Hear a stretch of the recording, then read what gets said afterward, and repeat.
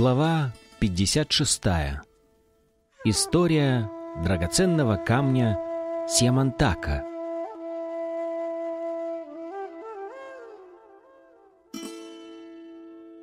Одну из земель, подчиненных Дварагатхами, правил царь по имени Сатраджит. Он был ревностным почитателем бога солнца и в награду за свою преданность получил от него драгоценный камень Сиамантака. Этот камень стал причиной размолвки между царем Сатраджитом и Ядовыми. Позже, когда Сатраджит добровольно отдал Кришне свою дочь Сатепхаму вместе с драгоценным камнем Симантака, все уладилось.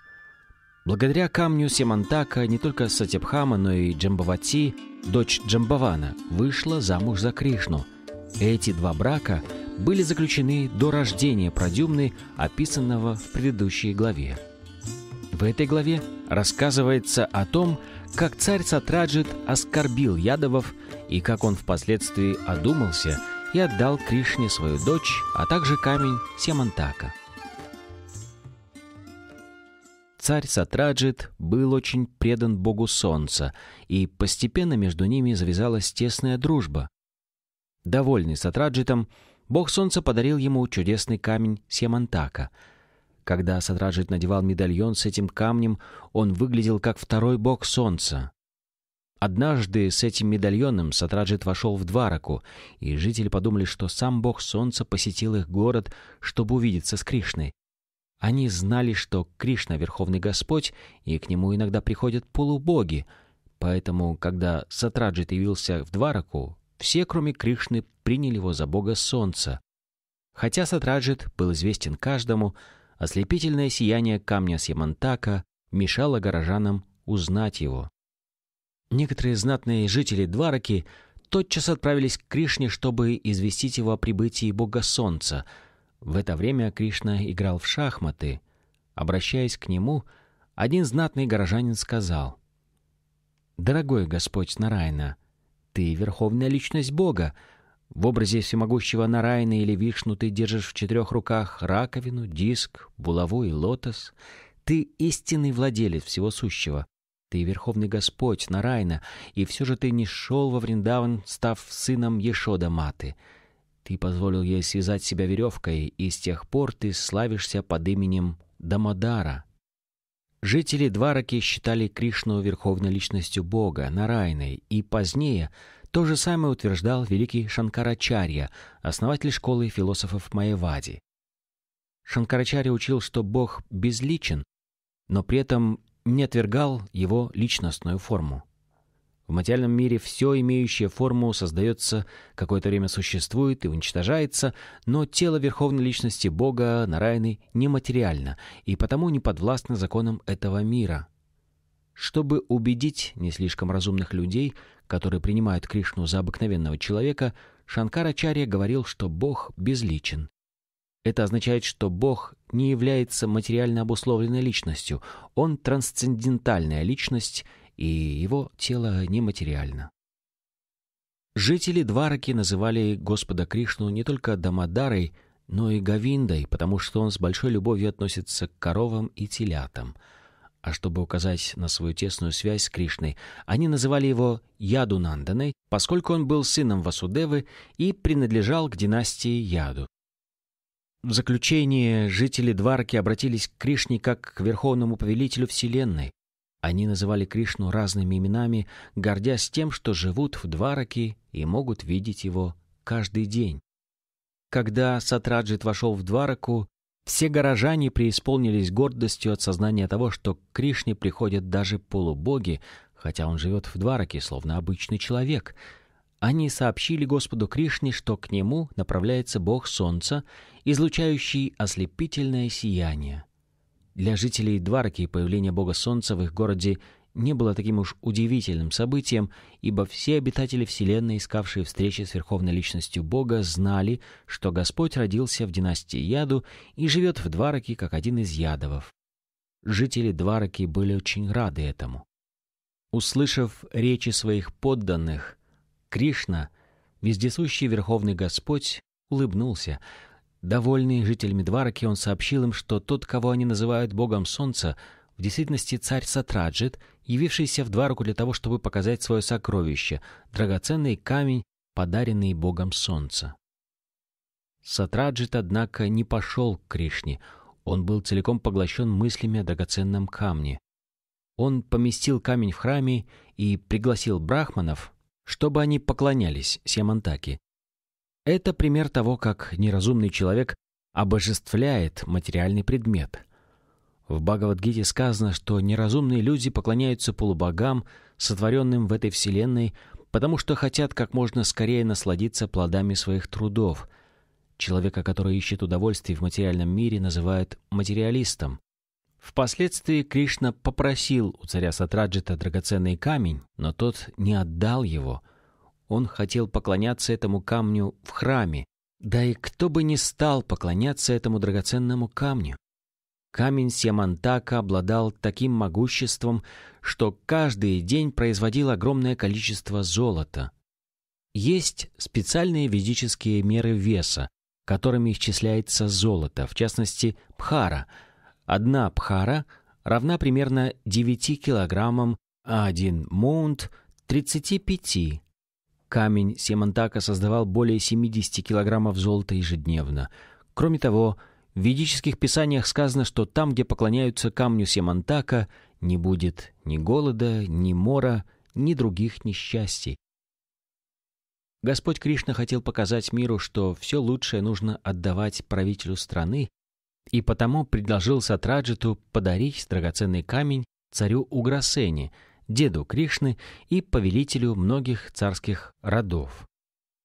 При этом Кришна сослался на то, что все лучшее следует преподносить царю, но Сатраджит, поклонявшийся полубогам, стал очень материалистичным и вместо того, чтобы исполнить просьбу Кришны, решил, что будет разумнее поклоняться камню Семантака и получать каждый день более 70 килограммов золота. Людей материалистичных и к тому же владеющих большим количеством золота не интересует сознание Кришны — Поэтому иногда, если Кришна хочет явить им особую милость, он забирает у них все материальные богатства и делает их великими преданными. Итак, Сатраджит отказался исполнить просьбу Кришны и не отдал драгоценный камень. Некоторое время спустя младший брат Сатраджита Прасена, желая похвалиться богатством семьи, взял камень и, повесив его на шею, верхом на лошади отправился в лес, когда он, демонстрируя свое богатство, разъезжал по лесу, на него напал огромный лев. Убив Просену и его лошадь, лев унес камень с собой в пещеру. Слух об этом дошел до царя медведей Джамбавана. Он убил льва в его пещере и забрал драгоценный камень. Еще со времен Рамачандры Джамбаван был великим преданным Господа, поэтому он взял камень не как вещь, в которой очень нуждался, а как игрушку для своего маленького сына. Сатраджит был очень расстроен тем, что его младший брат Прасена не вернулся из лесу. Он не знал, что его брата растерзал лев, которого впоследствии убил Джамбаван. Сатраджит решил, что это Кришна, желая завладеть камнем Симантака, силой отнял его у Просены и лишил того жизни. Это подозрение переросло в слух, который Сатраджит разнес по всей Двараке. Слух о том, что Кришна убил Просену и забрал драгоценный камень, распространился повсюду с быстротой лесного пожара. Кришне не понравилось, что его оклеветали — поэтому он решил поехать в лес и разыскать драгоценный камень Семантака. В сопровождении нескольких знатных горожан Кришна отправился на поиски Прасены и нашел его тело, растерзанное львом. Вскоре он отыскал и льва, убитого Джамбаваном, или, как его еще называют, Рикшей. Было очевидно, что Рикша убил льва голыми руками, без всякого оружия. Затем Кришна и сопровождавшие его жители Двараки обнаружили в лесу широкий подземный ход, который, как говорили, вел к дому Рикши. Кришна знал, что его спутники побоятся войти туда, поэтому он велел им оставаться снаружи, а сам спустился в этот ход, чтобы найти Рикшу Джамбавана. Вступив в темное подземелье, Кришна увидел там сына Рикши, игравшего с драгоценным камнем. Желая забрать у него камень, Кришна подошел и остановился перед ним. Когда нянька малыша увидела перед собой Кришну, она испугалась, что он отберет драгоценный камень и громко закричала. На крики няньки прибежал разгневанный Джамбаван. На самом деле Джамбаван был великим преданным Кришны, но в гневе он не узнал своего господина и принял его за обычного человека. В этой связи на ум приходит стих из Бхагавадгиты, в котором Господь советует Арджуне освободиться от гнева, жадности и вожделения, чтобы затем достичь духовного совершенства.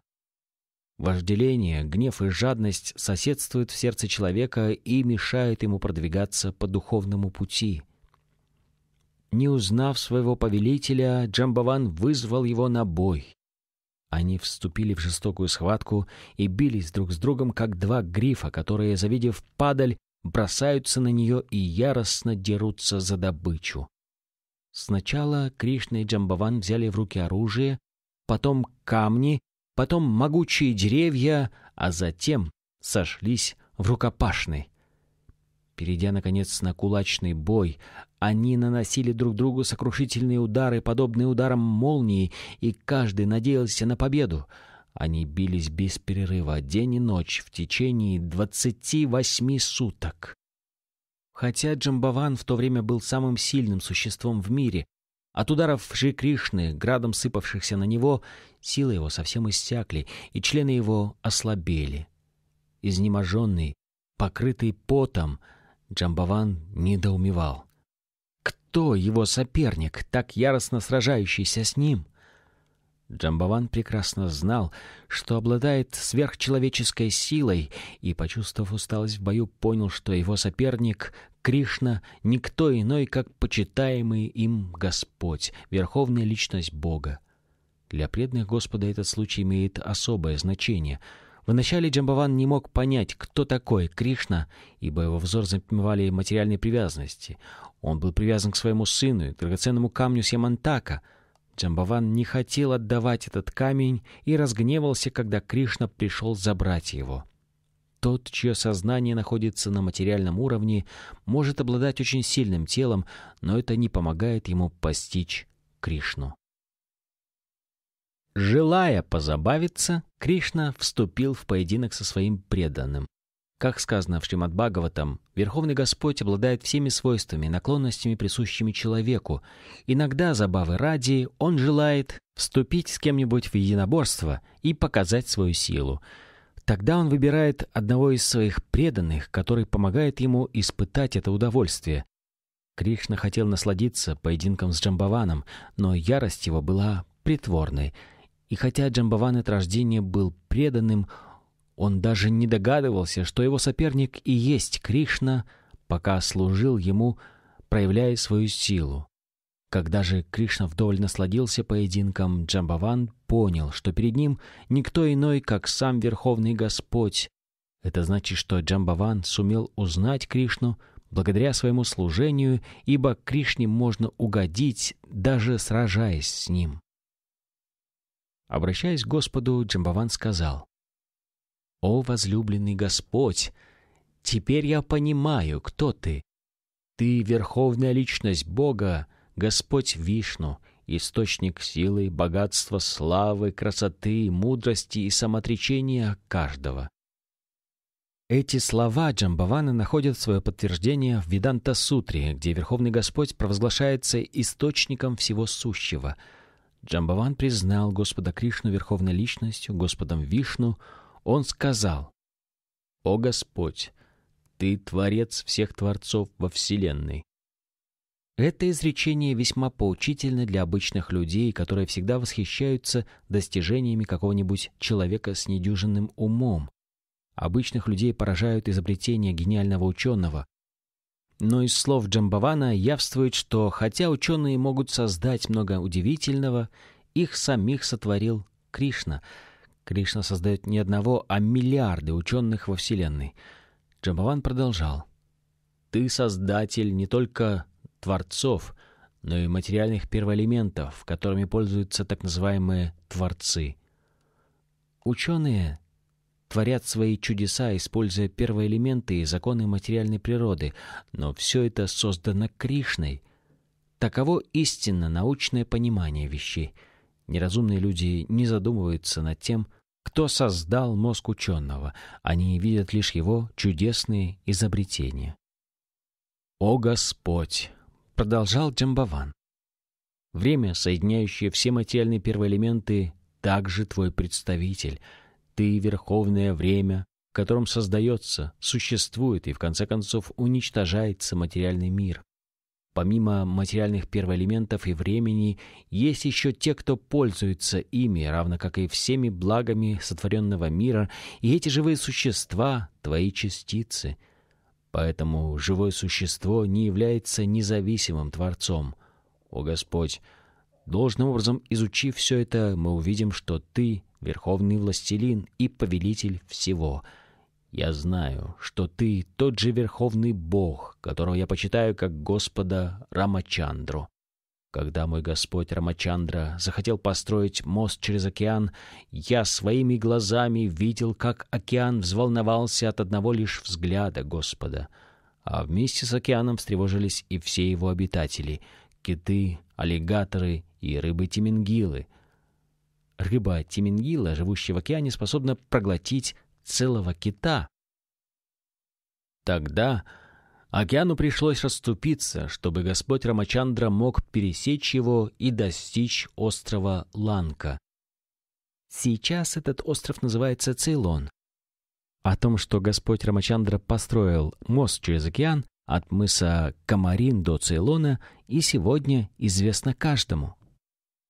Построив этот мост, ты предал огню царство Раваны.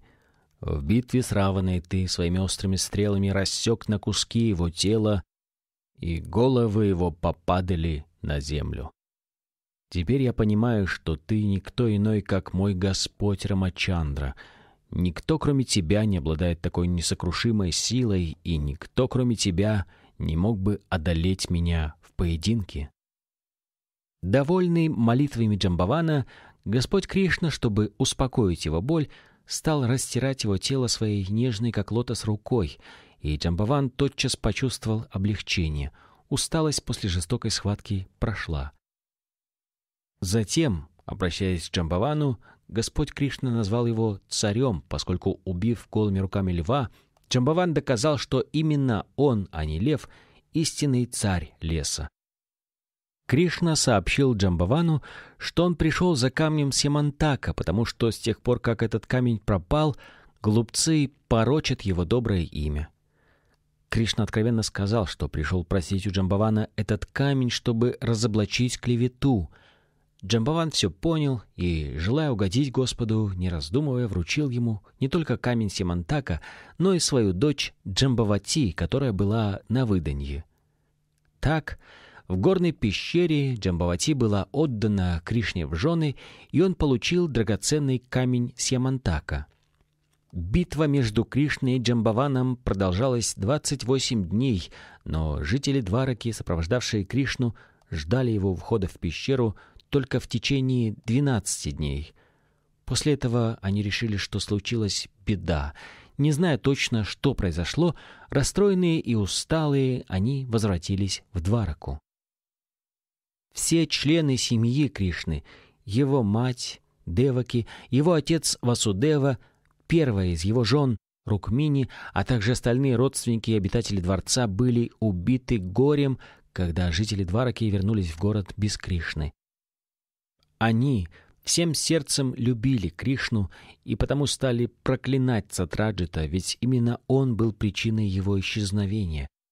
Все отправились в храм богини Чандрабхаги, и стали молиться о возвращении Кришны.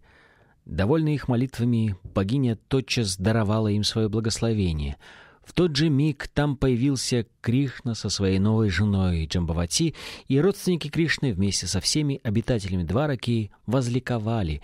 Они радовались, как радуются возвращению близких из царства мертвых. Сначала родственники решили, что сражение с Джамбаваном оказалось для Кришны роковым, и почти потеряли надежду на его возвращение. Но как только они увидели, что Кришна вернулся и не один, а с новой женой Джамбавати, они тут же устроили большой праздник. После этого царь Уграсена созвал к себе царей и старейшин. Он пригласил в это собрание и Сатраджита. В присутствии всех Кришна рассказал о том, как он получил от Джамбавана драгоценный камень Семантака. Теперь Кришна хотел вернуть его Сатраджиту — Сатраджит, однако, устыдился того, что оклеветал Кришну. Он молча взял у него камень, понурив голову и, не произнеся ни слова, он покинул собрание и отправился домой с драгоценным камнем в руках. Сатраджит стал думать, как искупить великий грех, который он совершил, оклеветав Кришну. Он сознавал, что нанес Кришне тяжкое оскорбление и должен найти средства вновь заслужить его благосклонность. Царь Сатраджит стремился избавиться от беспокойства, причиной которого была его глупая привязанность к материальной вещи, драгоценному камню Семантака. Искренне сожалея о том, что нанес Кришне оскорбление, Сатраджит хотел загладить свою вину. Тогда Кришна, пребывающий в его сердце, наделил его разумом, и Сатраджит решил отдать ему этот драгоценный камень, да еще свою красавицу-дочь Сатьябхаму. Другого способа загладить свой проступок у него не было, поэтому Сатраджит все подготовил к свадьбе Кришны и Сатябхамы. Он отдал в дар Верховному Господу драгоценный камень и дочь. Сатябхама была так прекрасна и добродетельна, что многие царевичи просили ее руки, но Сатраджит выжидал, желая найти самого достойного зятя.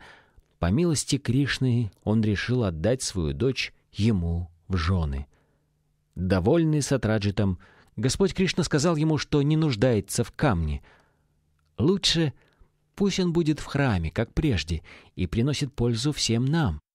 Благодаря тому, что в Дварке будет находиться этот камень, ее жителям не придется страдать ни от голода, ни от болезней, ни от лютого холода или палящего зноя.